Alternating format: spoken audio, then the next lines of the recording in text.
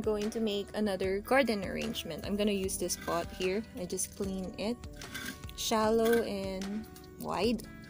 And here are some of the plants that I will be using. I'm not gonna use all of them. I just chose the one that I think would look pretty in the arrangement. Where's the other one? Well, I can't find the other one. Oh yeah, here. Here's the other one. Okay. And here's a tip. Look at this one. This is an old pot and I crush it into small pieces using a hammer. I hammer it here so that I could make use of it as a designer rock here in my garden arrangement. It would be here. I think it would look pretty. And if you know me, in my past videos, I really don't like to make garden arrangement because I think it's a form of competition. Like it would be hard for them to live. But so far, they're doing well. So let me just give it a try if it would turn out okay. If ever it doesn't, then I just have to adjust or remove some succulents in the pot.